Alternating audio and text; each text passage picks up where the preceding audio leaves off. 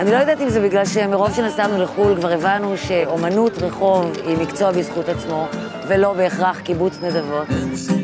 אבל מסתבר שיש קולות רבים, שונים, חדשים ומגוונים שממלאים את הרחוב הישראלי ומשמשים כפס הקול שלו. זה קצת עצוב שהם צריכים להופיע ברחוב ולא באולמות, במתנ"סים, במקומות שאפשר לקנות כרטיסים. מגיע להם להרוויח כסף בצורה מכובדת כמו אומני פופ גדולים. והרחוב הזה לא כזה? אני חושבת שלא מרוויחים מספיק כסף.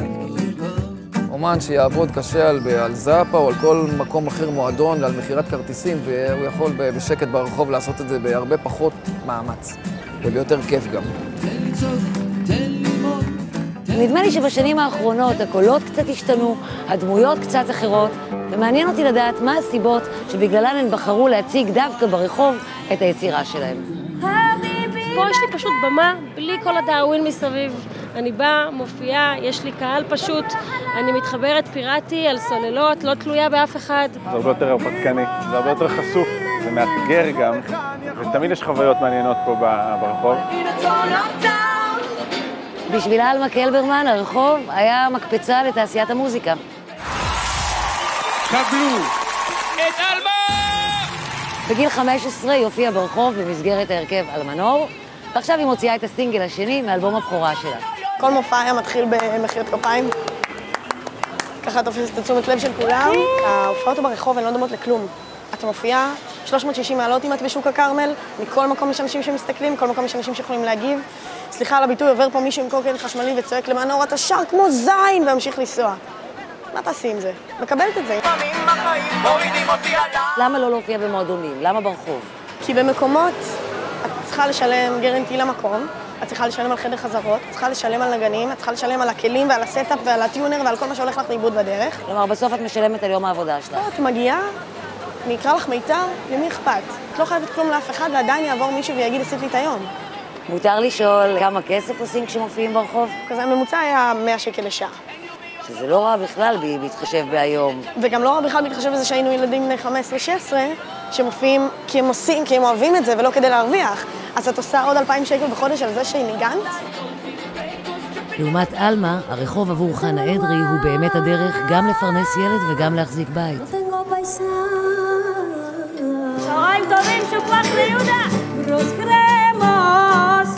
גרוס קרמוס כפיסור... מופיעה ברחוב כמה זמן? כבר ארבע שנים, כן, נכנסת לשנה החמישית.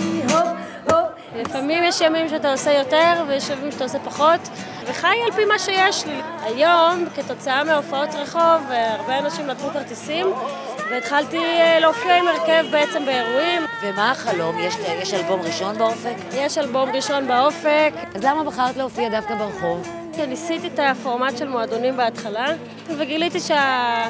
ההשקעה היא אסטרונומית. אתה בסוף משלם למקום, משלם לכל העולם, ונשאר עם איזה כמה גרושים שאתה מרוב בושה מחלק את זה בין הנגנים שלך. אז מסתבר שגם המינימום גרנטי זו אחת הסיבות שגורמות לאומנים לחפש במות גם ברחוב. מינימום גרנטי, למי שלא יודע, זה הכסף שהאומן צריך לשלם למועדון במידה והוא לא הביא מספיק קהל להופעה שלו. כלומר, אתה מסיים יום עבודה, ואז אתה גם צריך להיכנס לכיס ולשלם עבורו. איזה כיף. האחים גת, למשל, הם כאלה שעשו את כל הסיבוב. התחילו ברחוב, עשו את זה בגדול כשהגיעו למקום השני בכוכב הבא, אבל הבינו שהרחוב הרבה יותר משתלם. תראי, ההופעות ברחוב, בוא נגיד ככה, זה ההופעות הכי טובות. זה כאילו בשביל למצוא הופעה שתגיע לרמה הרוחנית של מופע רחוב, צריך לחפש הרבה בכיס. התחלתי לנגן גיטרה בגיל צעיר, וראינו שזה נשמע נחמד ביחד בשתי גיטרות. ורצינו לנסות להקליט וללכת להופיע בכל מיני פאבים וזה, היינו באים לפאבים, הם אומרים לנו, כמה אנשים אתם תביאו? מה זאת אומרת אנחנו נביא? אנחנו באים לנגן. לא, אם לא תביאו לפחות 40 איש, אתם תשלמו בסוף ההופעה אלף שקל, ובלה ובלה. בקיצור, אמרתי לגילי, מי צריך אותם בכלל? תראה כמה אנשים יש ברחוב, בפאב של 30 איש להיכנס לאיזה מקום חשוב, ש... פה מיליונים עוברים. כמה שנים הופעתם ברחוב לפני כוכב? הרבה, בערך שבע שנים, שמונה שנים. שבע, ואז איך הגעתם לכוכב הבא? התקשרו אלינו, התחילו לעלות הרבה סרטים מאנשים שהיו ברחוב, הגיע לרשתות ומצאו אותנו. היום בעצם יש לכם אמרגן שזה בא כתוצאה מהכוכב. כן. יש לך איך לרשום? אני צריך לתת לך טלפון של האמרגן שלנו ולראות אם אנחנו פנויים. 054 שלוש-שלוש. ואם הגישה של האומנים השתנתה, אולי גם הגישה שלנו כקהל התבגרה, והבנו סוף סוף שאומנות רחוב היא אומנות בזכות עצמה. היי, אני אומרת, אני נפעמת. בפרט שהם מוכשרים כל כך, אז זה כיף. אפשר להביא כבוד למוזיקה בכל מקום, בכל זמן. זה כמו תיאטרון. יש אנשים שבאים לתיאטרון, יש אנשים שלא יכולים להגיע לתיאטרון, צריך להביא את התיאטרון אליהם.